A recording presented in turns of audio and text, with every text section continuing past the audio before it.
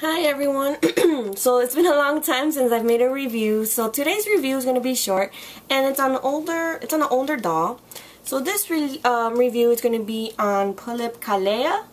Um, I don't know if you guys have heard of her, but I think um, I don't even know there's really really any reviews out there of her. So I, I thought, you know, I'll take this opportunity to make a, a review of this doll in particular.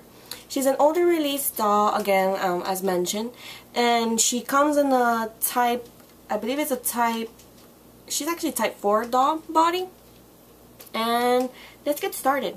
So, Kaela comes with this really cool pinstripe hat. The, the hat itself is really great quality, and um, it has like I would say pleather, not even. It's like kind of better than pleather material on the sides.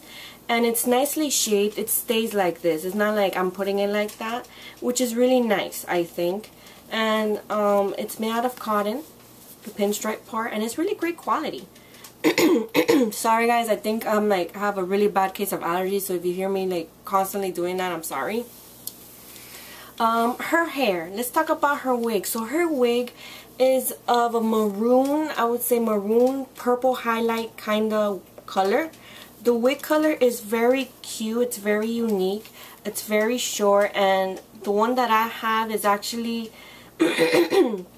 nicely styled. Um, I wonder if all wigs come like this. I'm not sure.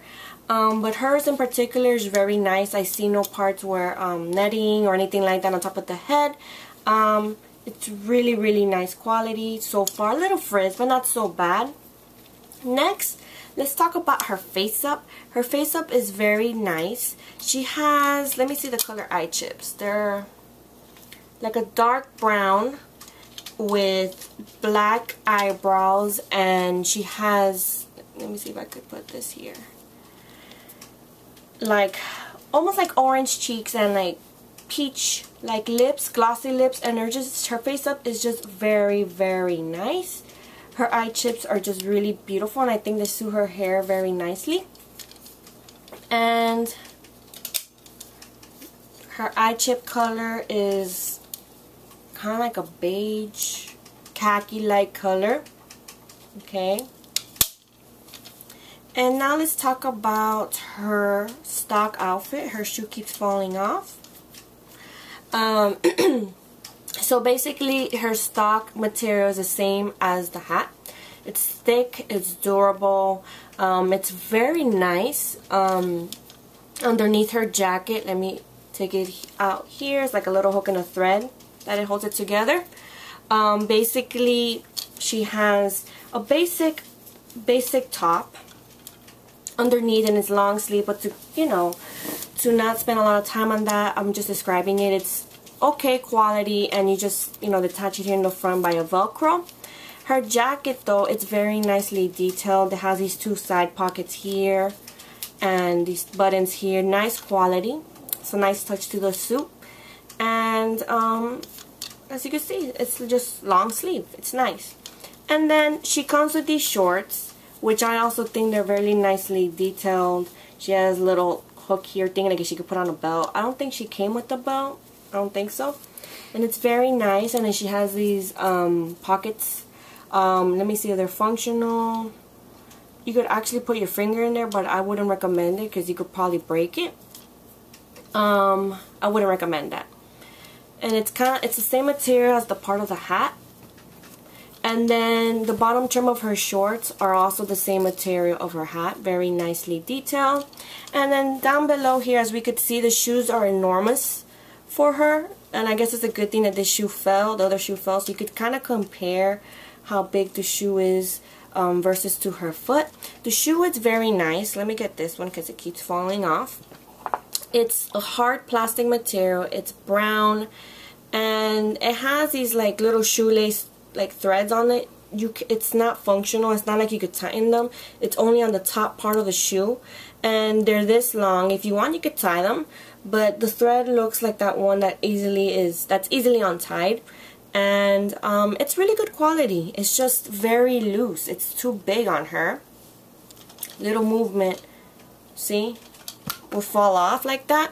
Um, and then she comes with these basic um, navy blue socks. And they're just basic cotton, okay? One of the things I didn't mention about this doll is that she's very unique. Well, not very, but she is unique. But one of the things that's very unique of her is her right hand. She has like a grip hand, which I think that's cute because a lot of dolls don't really have that. We have some, but not all of them are like that. Okay. What else? She comes with um, this leather leather um, purse. The purse, unfortunately, guys, as you can see through time, the little leather leather part starts breaking apart. Um, it kind of sucks because the style of it is very nice.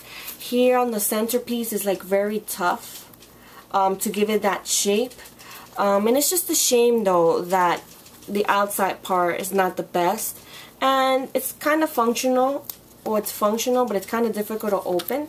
And then inside we have like a like a satin material, black satin detailing in the inside. And, you know, she just holds her, her bag like this. Just sucks. The purse is not the best. Through time, it starts falling apart. And then, she comes with her card. So, what do I have to say about Kaela? I think Kaela is one of those dolls that a lot of people really don't notice. She's very versatile um, the issue with her is that she's long time sold out now. And it's really hard to get her for a good price. I know eBay people love to really increase their prices but if you really um, you know take a moment and really just be patient and keep an eye out you'll probably find it for a good deal I've seen her recently be on eBay for like I think it would end the bidding price would be like $80 or something like that um, but you have to be patient. Look through there. Look through Yahoo Japan auctions. Um, what else? Um, yeah. I actually bought mine second-handed, which means she was not brand new what I got her. I got her from another collector. Um, I bought her for $50 including shipping, which I think it was a fantastic deal. And if you're asking how long ago that was, that was, mm, I cannot remember maybe like six seven months ago. Um so yeah and if you want to know no that person does not have any more um Pullip dolls that person just wanted to get rid of all of them and I was the one that bought the last one so this was it. So um if I recommend her to you of course she's beautiful. Um and that's basically what I have to say about this doll. If you guys have any questions or just want to say anything let me know. I hope you found this review helpful and I hope to see you guys soon alright Bye-bye. Bye.